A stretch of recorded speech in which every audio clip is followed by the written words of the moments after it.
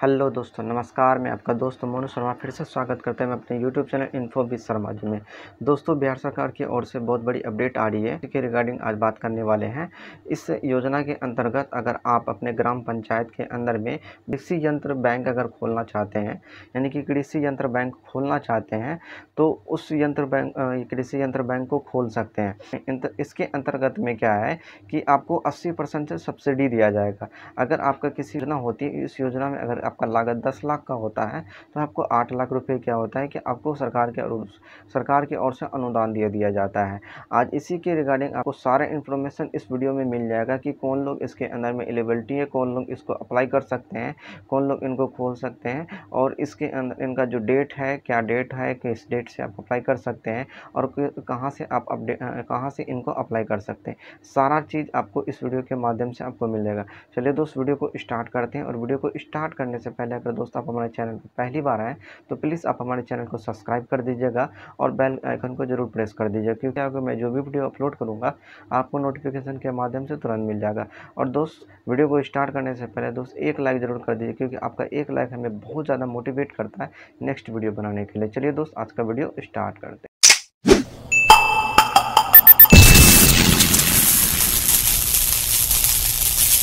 मैं एक notification download करके रखा हूँ। इसको जूम कर लेते हैं और इसमें आपको हम दिखाते हैं सारा चीज़। देखिए, यहाँ पे ऊपर में हेडिंग दिया हुआ कृषि यंत्र बैंक स्थापना हेतु सहायता। तो यहाँ पे कृषि यंत्र के बैंक के बारे में और इनको मैं आपको क्लियर करता हूँ कि इनको जो है कौन कौन लोग खोल सकते हैं। देखिए, जीविका के समूह, ग्राम संगठन कलेक्टर फाउंडेशन आत्मा से संबंधन फार्मर इंस्ट्रक्शन ग्रुप यानी कि एफआईजी जिसको बोलते हैं नौबट राष्ट्रीयकृत बैंक से संबंध किसान क्लब, यानी कि फार्मर प्रोडक्ट्स ऑर्गेनाइजेशन एफ़ एवं स्वयं सहायता समूह को कृषि यंत्र बैंक स्थापित करने का सुनहरा अवसर। यानी कि इन ग्रुप के लोगों को ये बैंक खोल सकते हैं।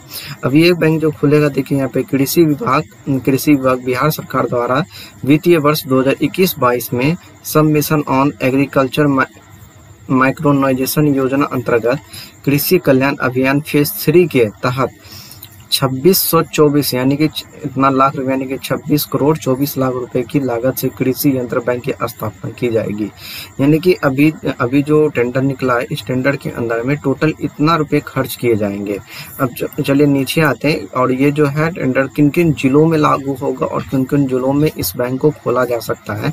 देखिए, बिहार के चयनित कुल तेरह आकांक्षी जिला, यानी कि टोटल तेरह ज़िले ही इसके अंदर में अगर चयनित किया गया, उसके अंदर में कौन कौन है? जैसे अररिया हो गया औरंगाबाद हो गया बांका हो गया। बेगूसराय, गया, जमुई, कटिहार, खगड़िया मुजफ्फर नवादा, पूर्णिया, शेखपुर एवं सीतामढ़ी।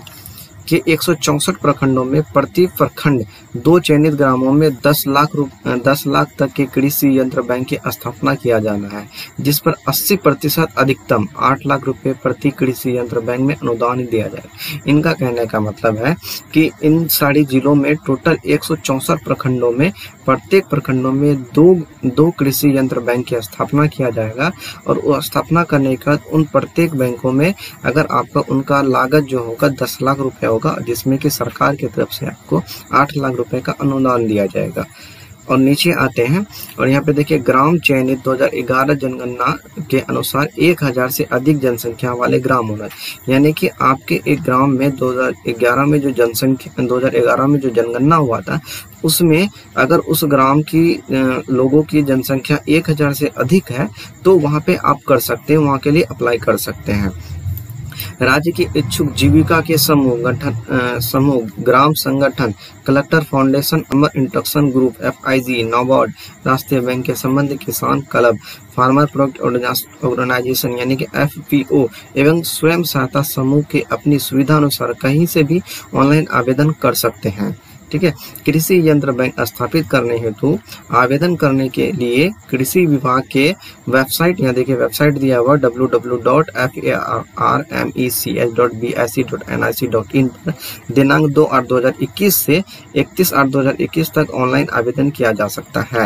यानी कि इनका आवेदन का जो तिथि है, वो दो तारीख से स्टार्ट होगा, दो आठ दो हज़ार इक्कीस से और इकतीस आठ दो हज़ार इक्कीस तक आवेदन किया जाएगा। यहाँ से आवेदन किया जा सकता अब चलिए मैं बात कर लेता हूँ आपको कि इसमें आपको बेनिफिट क्या होने वाली है, जो कि मैं आपको बताने वाला हूँ। बेनिफिट ये है कि इसमें आपको ट्रैक्टर से ट्रैक्टर से लेकर के सारी सुविधा आपको इसके अंदर में आपको गवर्नमेंट के तरफ़ से मिलने वाली है। और उसमें क्या कि जिस भी किसानों को जो भी चीज़ों की ज़रूरत होगी, वो किसान आपसे आएँगे और आपको उन चीज़ों को देंगे तो उसके बदले में कुछ आपको भाड़ा आप उनसे ले सकते हैं। यानी कि किराया आप उनसे लेते हैं, जो कि सरकारी यानी कि गवर्नमेंट के द्वारा एक पेमेंट फिक्स किया जाएगा कि आपको इन चीज़ों का इतना रुपया भाड़ा लेना है, यानी कि इतना किराया लेना है। तो इससे किसानों को सुविधा मिल जाएगी और आपका भी कमाई हो जाएगा। तो यहाँ से इस तरीके से आप फ़ायदा इनका उठा सकते हैं। इनका जो ऑनलाइन अप्लीकेशन डेट है, जो कि आपको यहाँ पे पता है। और इनका जो वेबसाइट है, जैसे कि मैं वेबसाइट खोल के रखा हूँ तो यहाँ से आप आकर के ऑनलाइन आवेदन कर सकते हैं। इनका जो लिंक है, अभी एक्टिवेट नहीं किया गया है। एक्टिवेट दो तारीख, यहाँ पे देखिए, दो आठ दो से इकतीस आठ दो तक ऑनलाइन आवेदन किया जा सकता है। यानी कि जैसे ही आएगा तो आपको यहाँ पे आवेदन करने के लिए लिंक एक्टिवेट कर दिया जाएगा। यहाँ से आकर के आप आवेदन कर सकते हैं। उम्मीद करते हैं दोस्त, आपको ये हमारी जानकारी बहुत ही अच्छी लगी होगी। अगर आपको इस वीडियो के रिगार्डिंग आपको कुछ भी क्वेश्चन करनी है तो हमें कमेंट बॉक्स में कमेंट करके बोल दीजिएगा।